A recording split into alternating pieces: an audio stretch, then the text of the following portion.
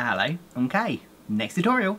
This time I'm dressed up as the magic mirror from the Disney movie Snow White. It's probably one of my most favourite Disney movies, it's probably one of the most enchanting I think, it's just a really wonderful classic movie. It's just really a super super simple face paint, I mean obviously more complicated by blocking out your eyebrows and popping on a bald cap, but as I say in the video you don't have to do that, it's just if you want this particular effect, like the whole seamless design of blocking out your ears and stuff. So it's completely up to you guys. So yeah, if you'd like to learn how to recreate this makeup, stay tuned.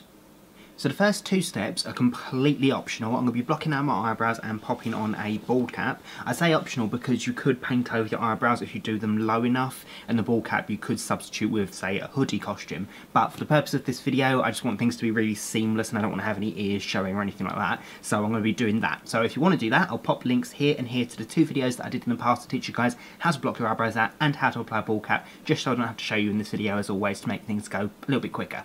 So yeah, I'm going to block out my eyebrows, pop on a bald cap, and we should go from there. Okay, so after I applied my bald cap and blocked out my eyebrows, I went over the edge of my bald cap, as always, with about 4 to 5 layers of liquid latex, just to really get rid of the edge. Then I'm going to take a regular eyeliner or lip liner pencil, pretty much the same thing. This one's a Kohl Pencil by Collection 2000, just something that can be easily wiped away if I make a mistake, because just really just for guidelines. I'm just going to roughly trace the shape on that I want for the mouth.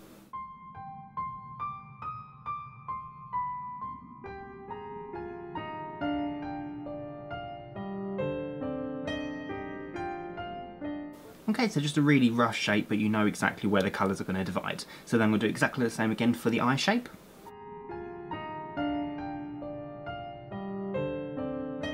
So just super, super rough. I just need to know exactly where I need to stop the colour so I can add it light afterwards. Cause it's easier to add darker over light than it is light over dark because these are going to be quite light areas, if that makes sense. Yeah.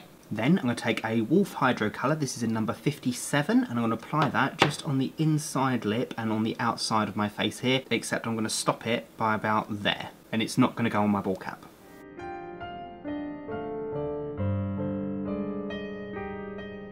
Then I'm going to take a MAC Chroma Cake watercolour, this is in rich purple, and I'm going to start by tracing on the shape I want for the outside edge on top, which is going to be the mask shape. So it's going to be low point here and high point here, but I'm only going to paint the top half, because the idea is it's going to be a gradient of colours going from purple to blue to green to yellow. Don't worry about that being neat either because this whole outside edge is going to be painted black so I can neaten up the lines afterwards. Then I'm going to take another MAC Chroma Cake colour, this one's in Marine Ultra, so a dark blue. I'm going to have that go the second half, but I'm going to have it dip down even further. So it's easy for me just to show you where it's going to go.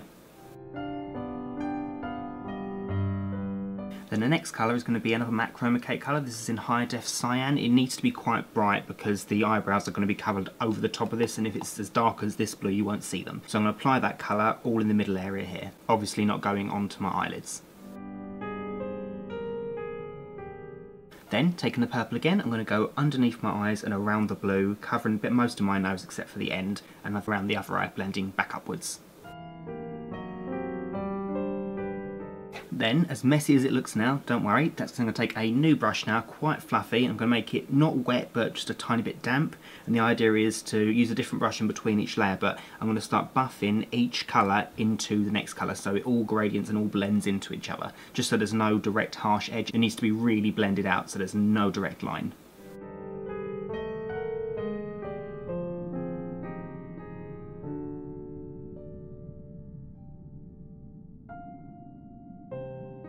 Then I'm going to take a primary yellow MAC Chroma Cake watercolour and I'm just going to dab that in the middle of this green area here and just blend that out so that can be the highlight of the cheeks.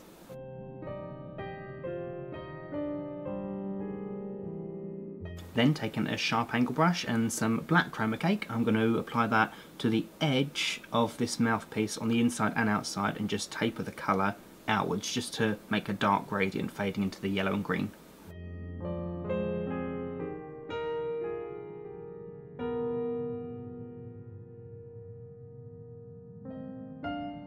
Then before I do anything else, I just really want to get this shape done. So I'm going to take the black Chroma Cake watercolour and I'm going to apply it around the edge and start shaping the mask shape. So a lot of this is going to be cut off.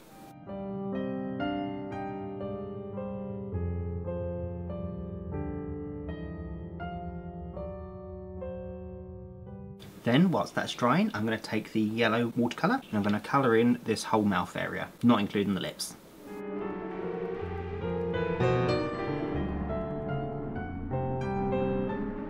Also going to apply the yellow on the tip of my nose.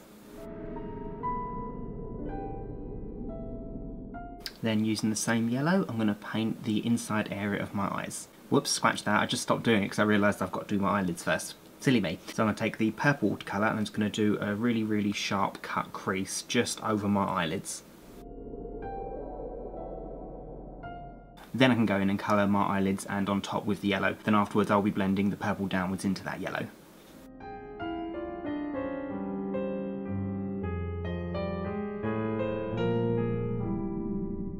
As I said, I'm going to blend that purple downwards. Then I'm going to take the Marine Ultra Blue and I'm going to start drawing on some really big, thick, angry eyebrows.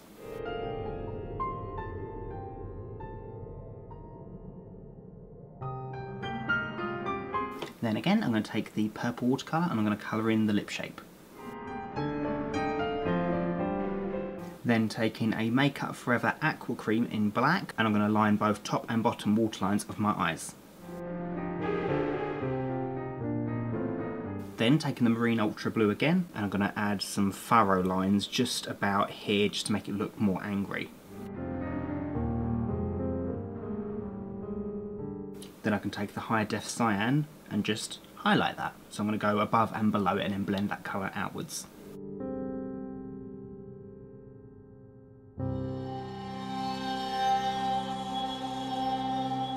Okay, so nothing major, just a few wrinkles, like I've done three going up the forehead and then the furrows here.